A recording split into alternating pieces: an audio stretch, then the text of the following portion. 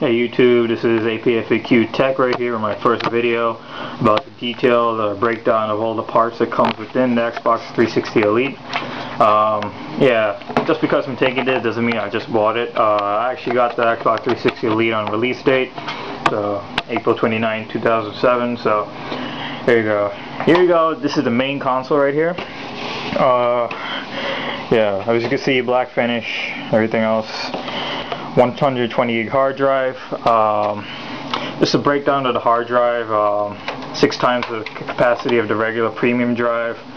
Uh, 120 obviously. Uh, the connections to the hard drive, I researched it online. SATA connection, serial ATA, which provides um, faster data transfer through the hard drive to the 360. And yeah, that's about it for the hard drive. Just attaches over there.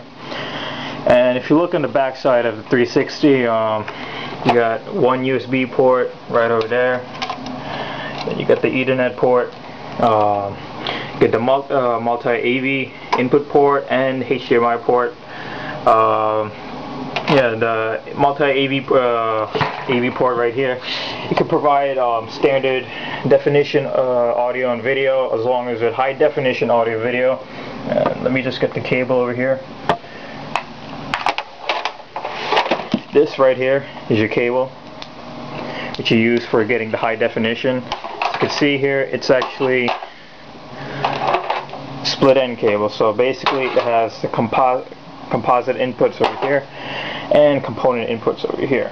So, but obviously if you're going to use the component uh, you got to use the audio connectors for the composite and this right here is a connector input it just attaches right here in the 360 and yeah so and on the side over here if you can see there's a little switch.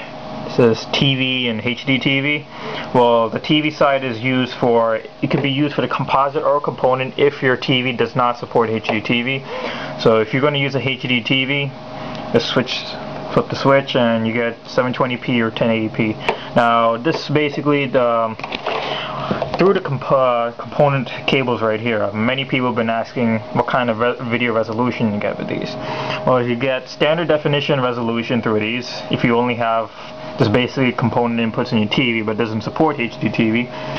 If you have a HD TV, it could support 480p, which is progressive scan, 480i, which is interlace, 480 interlace, 720p, 1080i, and 1080p upscaled basically. It doesn't provide full 1080p but it can provide close to 1080p if you want 1080p you'll need something like this which is the Xbox 360 HDMI cable.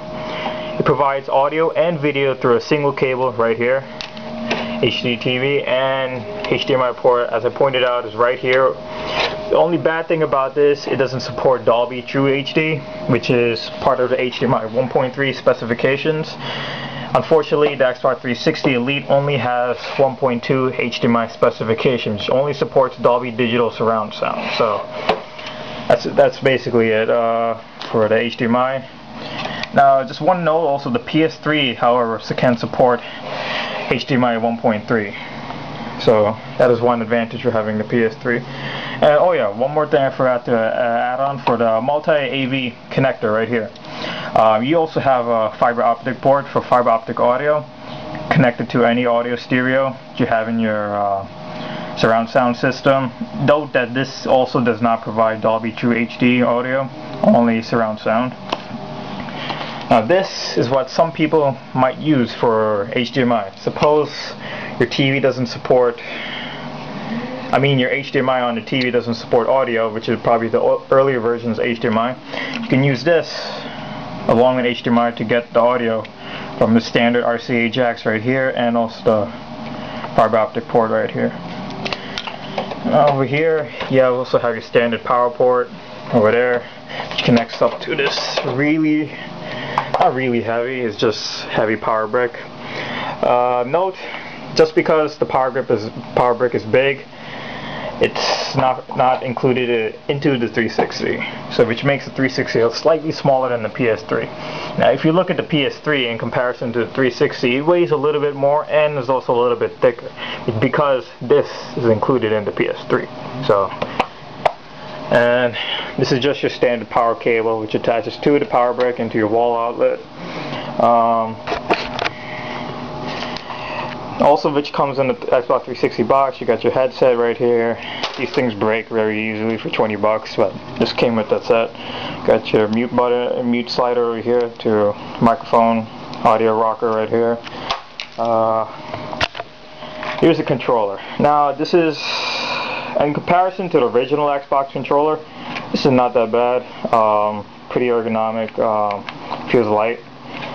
Uh, Right here you got the input for the Play and Charge Kit, also used for uh, if you want to send the signal through 360. Uh, here's an example of the Play and Charge Kit wire, which the USB, which goes into, as I forgot, uh, the front port, front USB port of the 360 Elite, and this right here just plugs into there. And this is the battery pack, which actually came with the Play and Charge Kit. Uh, I actually checked the specifications on this. It provides 1.8 amps of electricity, also technically 1800 amps of battery power from this.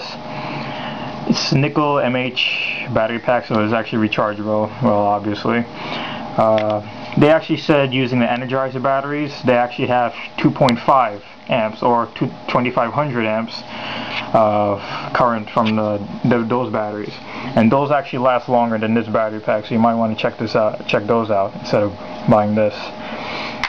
And yeah that's about it for this part. Um, well the drive in terms of changes to the Xbox 360 Elite, apart from the black finish, HDMI output, and the 120 gig hard drive, there hasn't been any motherboard, major motherboard revisions to the 360. The drive also still makes a loud noise, but so far I haven't had any scratching whatsoever, having owned this for about five months. Um, here's one accessory I did not did not that did not come with the Xbox 360 Elite, but you have to purchase separately. Xbox Live Vision camera right here. It's white, not black, so um, this comes in pretty handy with uh, playing some games like Uno, whatever. Um, this can also be used on your PC since it has a USB port right here, which is very convenient. Microsoft did that. Um, yeah, that's about it for uh, all the 360 parts. We um, Oh yeah, one other thing, the processor for the Xbox 360 Elite is still using the same exact processor for the white one, the white version for, uh, so basically it's using a 90 nanometer process for the processor instead of using the 65 nanometer. The only difference is that the 65 nanometer is slightly faster and produces less heat. So this this baby right here won't even overheat. Um, they have released new pro versions of the 360 the with HDMI ports now. They've been, I think, manufactured July 1st, and they're now in circulation through all the stores. So, if you're if you recently bought an Xbox 360, I mean the regular one, not the Elite, and it didn't come with HDMI ports, you should think about maybe returning it and getting the newer version, which has an HDMI port and uses a 65 nanometer cooling process. Um, this is about it for mm, 360 Elite. So APFAQ Tech right here. See you later.